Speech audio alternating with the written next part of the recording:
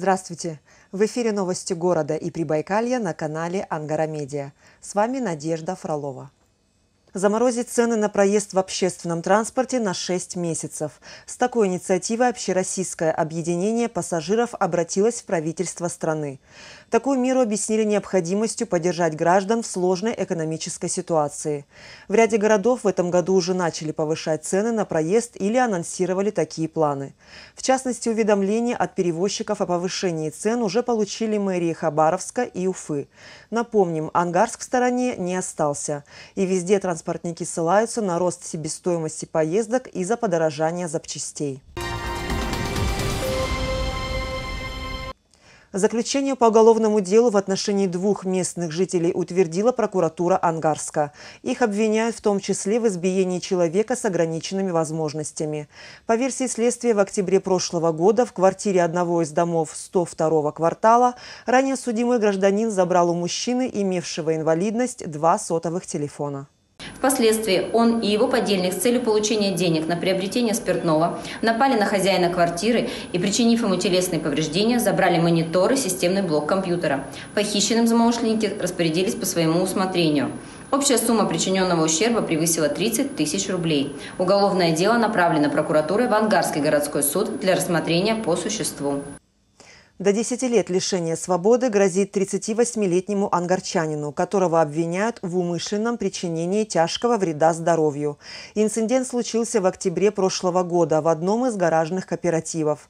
Конфликт между мужчинами начался на почве спора о пользовании автодорогой на территории ГСК. В итоге обвиняемый из оружия ограниченного поражения выстрелил оппоненту по имени Роман в голову. Мужчину доставили в больницу. Известно, что ссора началась раньше. Вот они сцепились. Вроде разодрались, надо было разойтись. Он это дело не спустил, схватил лопату с этого грузовика, а, ударил Ромку два раза по голове. То есть здесь был Влад. Влад это все дело увидел, полетел их разнимать. Он лопатой Владу проредил.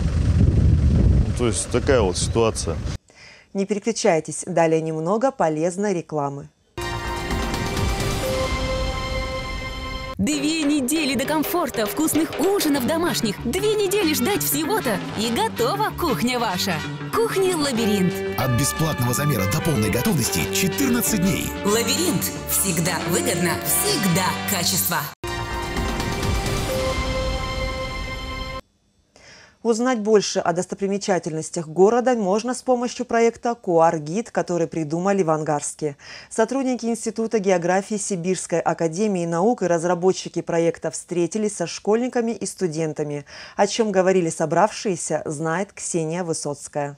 Проект начал свою работу в январе. В памятных местах города установили таблички с краткой информацией и QR-кодами. Чтобы узнать подробности, достаточно иметь камеру на смартфоне и доступ к интернету. Одним из инициаторов проекта стал Михаил Новиков. Сегодня мы презентуем проект QR-гид. Этот проект был поддержан фондом культурных инициатив, э, президентских грантов э, на сумму около полумиллиона рублей. В рамках этого проекта мы сформировали базу э, достопримечательностей Ангарского городского округа, сформировали несколько исторических маршрутов и, самое главное, подготовили таблички с QR-кодами каждого нашего объекта, и сейчас эти таблички устанавливаются. То есть основная суть проекта – это ознакомление наших ангарчан с всеми объектами историческими нашего города. Ну и, конечно же, привлечение туристов, э, которым удобная форма QR-кода QR позволит достаточно э, быстро и в полной мере найти всю информацию об этом объекте. Презентовали проект школьникам и студентам. Во встрече также приняли участие представители Института географии Сибирского отделения РАН. Они занимались поиском и обработкой информации о исторически важных местах города когда мы проводили исследования по рекреационным ресурсам Ангарского городского округа, это, во-первых, большой потенциал туристический есть. Это у нас Саватеевка, э, Одинск, ну и сам Ангарск, потому что э, Ангарск у нас как бы представляет Петербург в миниатюре. Ребятам рассказали о возможностях проекта QR-гид в туризме в городе и рекреационных ресурсах Ангарского городского округа. Ксения Высоцкая, Алексей Резник, Новости 360, Ангарск. Своеобразный урок мужества провел для воспитанников юности председатель Совета ветеранов Ангарского городского округа Александр Бондарчук. Причем лекция состоялась не в стенах какого-либо учебного учреждения, а прямо в спортивном клубе, который располагается в подвале одного из домов 22-го квартала. Александр Бондарчук – человек в городе, да и за его пределами известный. Офицер в четвертом поколении, бывший военный комиссар Ангарска, ведет активную общественную деятельность. А за свои поэтические сборники стал обладателем медали, выпущенной Союзом писателей России к 125-летию Есенина. Дома многодетный отец, заботящийся о любимой жене, трех сыновьях и дочке. Руководит Советом ветеранов, увлечен патриотическим воспитанием молодежи. Бывает в день проводит по три такие встречи. Основная масса, большинство, ну абсолютно большинство, большинство реагирует нормально, ну, положительно. Я всегда, когда провожу такие беседы, всегда смотрюсь в лица. Вот, что они чувствуют, что они ощущают себя, представляя на их месте. Вот, ребята действительно, вот, особенно ну, последние годы, вот просто в них можно прочитать в глазах патриотизм. Да? Ребята настолько осмысливают все эти беседы, сопереживают. Вот, очень много всегда вопросов задают.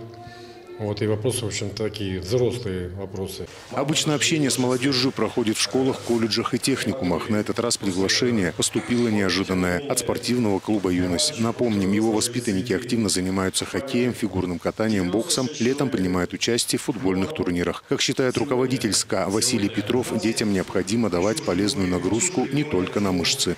Сейчас обстановка, сами понимаете, в стране какая происходит. Нашим детям надо доносить нужную и полезную информацию, чтобы они знали, что происходит. Ну и, соответственно, патриотический дух детям надо залаживать с детства. Поэтому моя задача осуществилась, цель. И дети теперь будут на периодической основе получать уроки военно-патриотического воспитания. Уроки патриотического воспитания Александр Бондарчук будет проводить и в дальнейшем. И, конечно, клуб «Юность» без его внимания не останется. Альберт Домнин, Алексей Резник, Новости 360 Ангарск. Презентация сборника стихов «И снова жизнь» состоялась в Центральной библиотеке города. Книгу представлял сам автор Александр Обухов. Поэт учился мастерству личного Валентина Распутина и Александра Вампилова. Итак, смотрим. Со своими стихами Александр Абухов в Ангарске не впервые, но каждый раз читает по-новому. Поэт из областного центра по образованию физик, но своим призванием считает именно публикацию книг. В коллекции его трудов есть сборники как для детей, так и для взрослых. В 2004 году был принят Союз писателей России. Вирус литературный вошел в меня с далеких студенческих времен – я учился параллельно с Валентином Григорьевичем Распутиным, с Аней Вампиловым, с Андреем Румянцевым. Жили в одном общежитии, общались мы. И вот там этот, как я говорю уже, вирус в меня вошел литературный. Строчки Александра Ивановича просты в понимании, где-то ироничны. Именно поэтому привлекают столько желающих знакомиться с его творчеством ближе. Интерес проявляют и композиторы. В исполнении Николая Липунова прозвучали 15 песен на стихи поэта. Две из них звучали на всесоюзном радио. На сегодняшний день у меня издано 10 книг и книжец. Вот.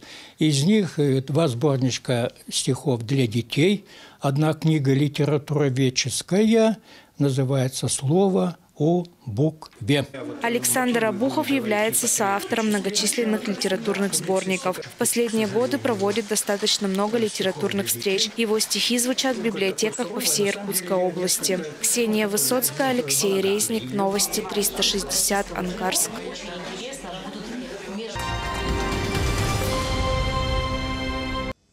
Третье командное место заняли бойцы Ангарского ОМОНа на чемпионате по стрельбе управления Росгвардии по Иркутской области.